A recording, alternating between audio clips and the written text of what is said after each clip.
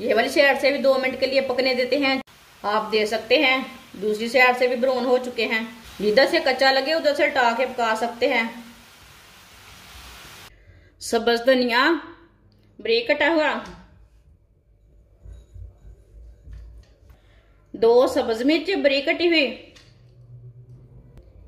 एक चम्मच प्याज ब्रीक कटा हुआ।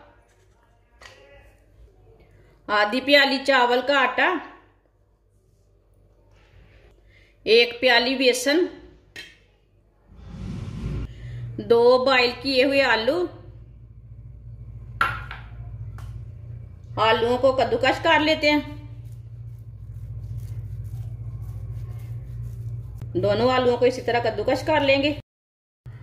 आधा चम्मच नमक नमक ज़रूरत के हिसाब से डाल सकते हैं। आधा चम्मच पिसी हुई लाल मिर्च, आधी चमची हल्दी पाउडर आधा चम्मच पिसा हुआ धनिया दो चम्मच ऑयल आप ऑयल की जगह घी भी डाल सकते हैं। सब चीज़ों को अच्छी तरह मिक्स कर लेंगे।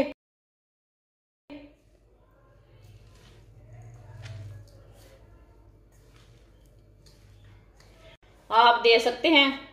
इसे मैंने अच्छी तरह मिक्स कर लिया है। अब थोड़ा सा पानी डाल लेंगे।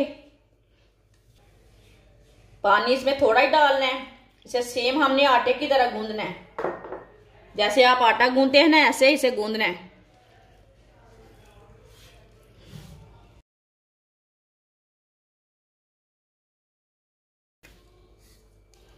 आप दे सकते हैं, इसे मैंने अच्छी तरह मिक्स कर लिया है।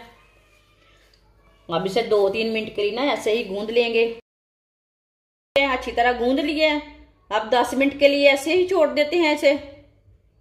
दस मिनट हो चुके हैं। हाथों को थोड़ा सा ऑयल लगा लेंगे। अब इसके रोल तैयार कर लेंगे। आप इसके कबाब भी तैयार कर सकते हैं, टिक्कियाँ भी तैयार कर सकते हैं। आप दे सकते हैं। सबको इसी तरह तैयार कर लेंगे। आप दे सकते हैं, सबको मैंने तैयार कर लिया है। ऑयल को मैंने गर्म होने के लिए रखा था। ऑयल हमारा अच्छी तरह गर्म हो चुका है। चूल्हे की आँच को ना थोड़ा सा कम कर लेते हैं।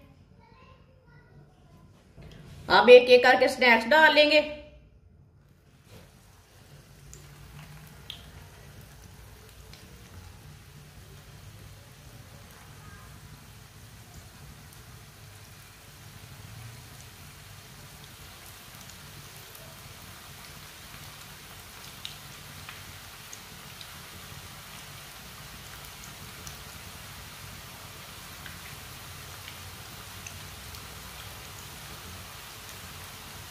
सबको मैंने डाल दिया है।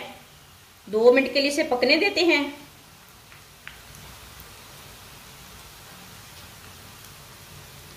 चूल्हे की आँच को ना मैंने कम रखा है। अब थोड़ा थोड़ा ऑयल लेके ना ऊपर डाल लेते हैं। आप ज़्यादा ऑयल भी डाल सकते हैं, वो आपकी मर्ज़ी है। जिसने मेरे चैनल को सब्सक्राइब नहीं किया, वो मेरे चैनल को लाजमी सब्सक्राइब कर लें। मैं बहुत ही कम चीज़ों से, कम मसालों से बहुत ही मज़े की रेसिपी बनाती हूँ। दो मिनट हो चुके हैं अब इसे टा लेते हैं। माशाल्लाह देखें।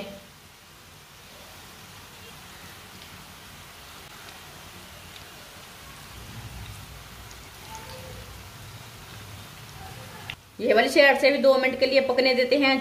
आप दे सकते हैं। दूसरी साइड से भी ब्राउन हो चुके हैं। जिधर से कच्चा लगे, उधर से टा के पका सकते हैं।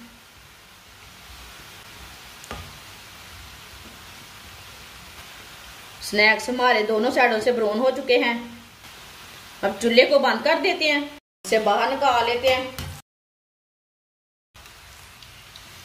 इसे छन्नी में डाल लेना जो एक्स्ट्रा ऑयल है वो निकल जाएगा।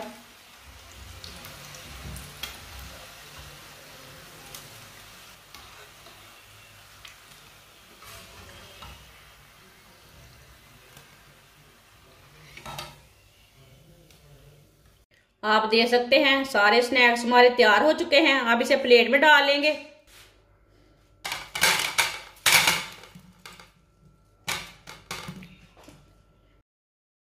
आप दे सकते हैं। सारे स्नैक्स हमारे तैयार हो चुके हैं। ये बहुत ही मज़े के बने हैं। आप खुद भी बना के खाएँ, बच्चों को बना के दें। ये बहुत ही टेस्टी हैं।